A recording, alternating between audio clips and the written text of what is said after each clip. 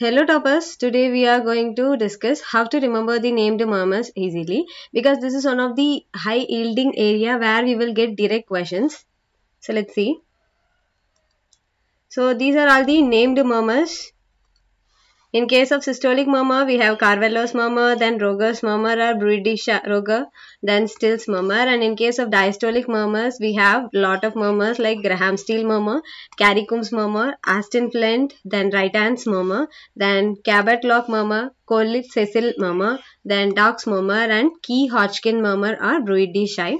Then other murmurs were Gibson's murmur, mill wheel murmur, Pontaine murmur and Cruveilhier-Baumgarten murmur. So, my first question is, what is murmur? So, murmur is nothing but sound produced due to any abnormal blood flow. And this abnormal blood flow may be due to lot of reasons like valvular stenosis or regurgitation. Any anatomical disturbances like VSD, PDA and it can be seen in any other systemic diseases like anemia also. So before entering in detail, let me give you a basic explanation. This is S1, this is S2. In previous video, we had discussed regarding this S1 and S2 normal heart sounds. So the cycle will be continuing in the same way. So this S1 is due to the closure of mitral and tricuspid valve and here S2 is because of the closure of pulmonary and aortic valves. So the same cycle will be repeating. Here the period between S1 and S2 is indicating the ventricular systole or directly systole where that time the ventricle will be under contraction state and here between S2 and S1 we can see the diastolic phase in ventricle that is ventricular relaxation So this is right side of the heart. Here we will be having the pulmonary valve in the pulmonary artery and here we will be having the tricuspid valve. So this is our left side of heart, this is left atrium and this is left ventricle and here we will be having our mitral or bicuspid valve and this is our aorta and here we will be having the aortic valve. So now regarding the state of ventricles during S1. So during S1 there will be closure of mitral and tricuspid. So simply blood all the blood from atrium will enter into the ventricle and after the complete pumping out of blood into the ventricle these mitral and tricuspid valve gets closed. So now the ventricle is in completely filled state so in order to pump out the blood, there arises the systole that is ventricular contraction. So because of ventricular contraction, all the blood will be entering into the pulmonary valve and aortic valve like this. So here there will be opening of pulmonary and aortic valve which helps in pumping out, out of blood into the pulmonary artery and aorta and after the uh, at the end of the systole all the blood will be pumped out and there will be closure of pulmonary and aortic valve here so that will lead to the S2 heart sound. So now the ventricle will be undergoing the relaxation. So because of relaxation again what will happen? Again there will be opening of mitral and tricuspid valve so that the again blood will enter into the ventricle. So here S1 will be there when the ventricle is filled and the ventricle undergoes systolic phase that is contraction and this contraction leads to the opening of pulmonary and aortic valve. Once the uh, blood gets pumped out of the pulmonary and aortic valve again there will be closure of uh, pulmonary and aortic valve leading to the production of S2 heart sound and from there ventricle will undergo relaxation leading to the opening of mitral and tricuspid valve again and then again the blood enters into the ventricle and the cycle repeats in the same pattern. So now we are very clear regarding the systolic and diastolic phase in the ventricle and adding to this we should know regarding two terminologies. One is bruit and one is hum. So whenever there is any abnormal sound due to the turbulence of blood flow in the artery it is called bruit and if the same thing happens in the vein then it is called hum. So venous hum and arterial bruit. So Now regarding the Carvallo's murmur, this is S1 heart sound, then S2 heart sound and S1 again. So Carvallo's murmur is nothing but an early systolic murmur which occurs on deep inspiration in tricuspid regurgitation. So let's see how it is happening. This is superior vena cava, this is inferior vena cava and this is our tricuspid valve and this is our pulmonary valve and this is our right atrium and this is our right ventricle. During deep inspiration, there will be decreased intrathoracic pressure. And because of decreased intrathoracic pressure, there will be increase in the venous return through IVC and SVC. So here what will happen because of decreased intrathoracic pressure there will be more venous return from IVC and SVC entering into the right atrium. So already the patient is suffering from tricuspid regurgitation. So because of the volume overload there will be murmur that is none other than our Carvallo's murmur. So because of volume overload and the uh, valve is already suffering from tricuspid regurgitation that will lead to the increase in murmur and this we can see also in subacute bacterial endocarditis in IV drug abusers. And the main clue to remember this Carvallo's murmur in TR is Carvallo C-A-R. You can remember as T small a and R. So car and tar. So Carvallo we can see in tricuspid regurgitation. This is one of the illogical mnemonic but try to remember in this way. So now Bruit de or Roger's murmur. Already I had told regarding the terminology Bruit. Bruit is nothing but the vascular murmur produced mainly in the arteries. So here it is none other than the holosystolic murmur. That is we will be having this murmur completely throughout the systole like this. So it happens mainly in the ventricular septal defect. So whenever if the defect is very small if the opening is very small that will create more turbulence in the blood flow leading to the increase in the loudness of murmur. So remember this murmur as Roger's sister got affected by VSD. So Roger is Roger's murmur and sister is systolic and it is due to ventricular septal defect. So as usual another illogical mnemonic try to remember then comes our Still's murmur. So this is also one of the systolic murmur which we had seen already and it is a benign murmur and uh, it extends from medium to long in the systolic phase and this is mainly due to the resonance of blood ejected into the aorta or because of the vibration of tendineae. So this is our left side of heart, this is left atrium, then left ventricle and this is our mitral valve and this is our aortic valve. Tendineae are nothing but the thread-like structures which support the mitral and tricuspid valve in the one side and it connects with the papillary muscle in the other side and here whenever the blood is getting ejected into the aorta there may be resonance which is creating the Still's murmur or because of the vibration of tendineae which is present over here leading to this murmur and this murmur is commonly seen in children and this Still's murmur is also called as innocent murmur. So then comes Graham Steele murmur which is an early diastolic murmur uh, seen mainly in pulmonary regurgitation. Now we are entering into the named diastolic murmurs which we can see here the early diastolic phase. So here what is happening? There will be mitral stenosis. So imagine there is mitral stenosis. It is nothing but the narrowing of the mitral valve. So because of the narrowing there will be increase in the volume in left atrium. So because of increase in the volume in left atrium that will create a back pressure in the lung through the pulmonary vein.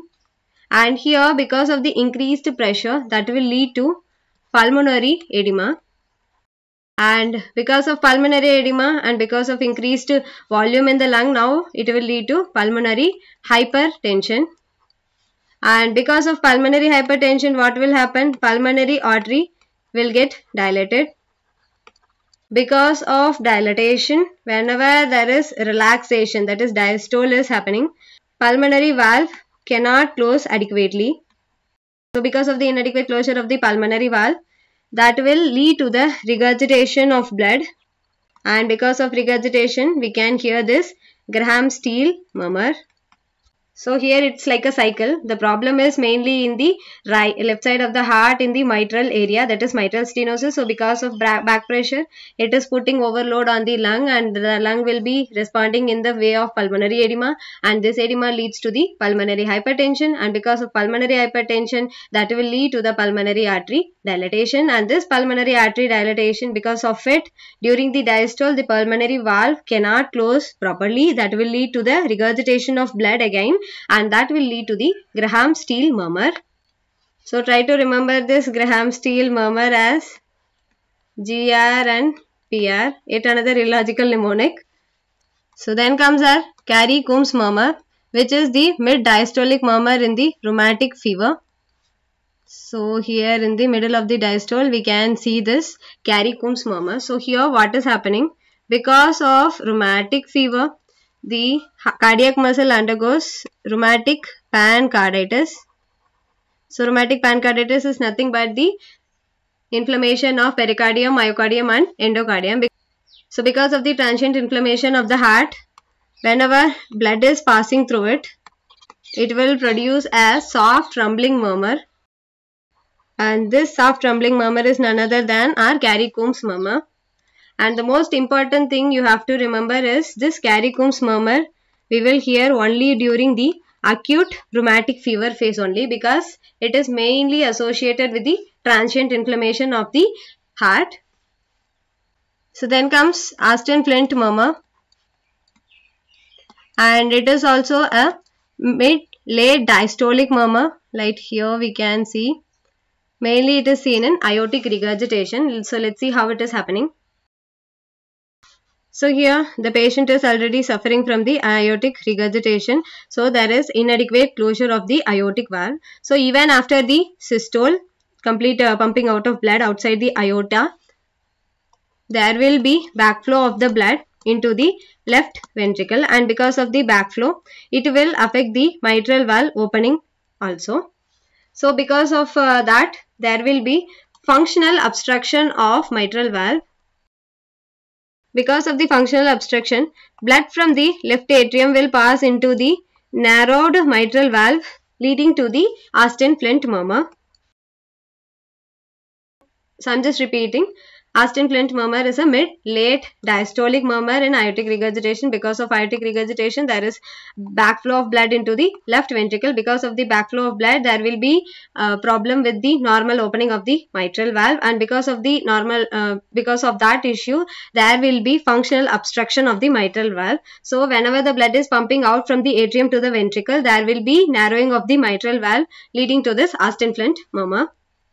Then comes Rytand's murmur. So Rytand's murmur is also a mid-diastolic apical murmur in the complete heart block which we can hear this murmur mainly in the apical region. So then comes Cabot Locke murmur. So this is an early diastolic murmur here and we can hear this during severe anemic conditions. Then comes Cole-Cecil murmur. This is also an early diastolic murmur which we can hear mainly in aortic regurgitation which is radiating to the axilla. So then comes Dock's murmur. It is an early diastolic murmur. We can hear this during the early diastole phase. And this murmur is something special. It is associated with pre-systolic accentuation. We can see this pre-systolic accentuation here. And this murmur is mainly due, due to the severe stenosis of left anterior descending coronary artery. And the most interesting thing is that why it is a diastolic murmur because these coronary arteries mainly supply the heart during the diastole phase. So whenever any obstruction in the coronary artery will lead to the murmur mainly during the diastolic phase. So then comes Key-Hodgkins murmur or Bruit-de So already I told Bruit is nothing but the vascular murmur in the arterial compartment. So here it is a diastolic murmur which we can see mainly in aortic regurgitation. So now we had completed the named systolic and diastolic murmur. So now comes the mill wheel murmur. So this is due to the air in the right ventricular cavity after the cardiac catheterization. So you can relate windmill with our air. So whenever there is air in the right ventricle, that will lead to the mill wheel murmur. You can remember with this illogical mnemonic as usual. Then comes spontaneous murmur. Already I had told hum is also the murmur sound which we can hear in the venous compartment. Here because of severe anemia, we can hear this venous hum in the cervical region. Then comes Nernst murmur. It is also a venous hum at the root of neck. It is also called as Bruit de Diable. So then comes Gibson murmur which is also called as continuous murmur or machinery murmur. We can hear this murmur throughout the face, both the systolic and diastolic phase in the patent ductus arteriosus. So PDA is nothing but the persistence of ductus arteriosus between the aorta and pulmonary artery. As this is Cruveilhier Baumgarten murmur. It is also a venous hum which is the diagnostic of portal hypertension in the abdomen. So now let us have a quick recap. First is Carvallo's murmur, yet another uh, illogical mnemonic. Already we had told that is car and tar that is it occurs during the tricuspid regurgitation. Then comes Roger's murmur. Roger's sister got affected with VSD that is Roger's murmur is a systolic murmur due to VSD that is ventricular septal defect. So still, still this murmur is very innocent which is seen in children age group. And then comes Graham Steele murmur. Then comes our uh, illogical mnemonic that is GR and PR. Then comes Carey-Coombs murmur which is related with rheumatic fever and mainly during the acute phase of rheumatic fever. Then comes Austin Flint murmur. You can remember it as AF and AR. Then comes right hands murmur. So usually we will be having left side pain in the cardiac issues. So you just remember that in complete heart block we will be having pain on the right hand. Sorry for this worst mnemonic but we have to remember somehow. So use it. In complete heart block we will be having right hands murmur. So here comes Cabot-Clark murmur which we can see in anemia. So nowadays children, a lot of children are having anemic conditions. So parents are locking them inside the room to make them eat properly. I'm sorry for this again. And cholecystectomy murmur. It is related with aortic regurgitation. And then comes the dog's murmur. So here you can relate dog and cat. It's not cat, it is cat only that is coronary artery disease we can have this dog murmur so dog and cat are together now then at last comes the Key-Hodgkins murmur or de Shire that is also related with aortic regurgitation. I think this aortic regurgitation is a very complicated condition having lot and lot of named murmurs also.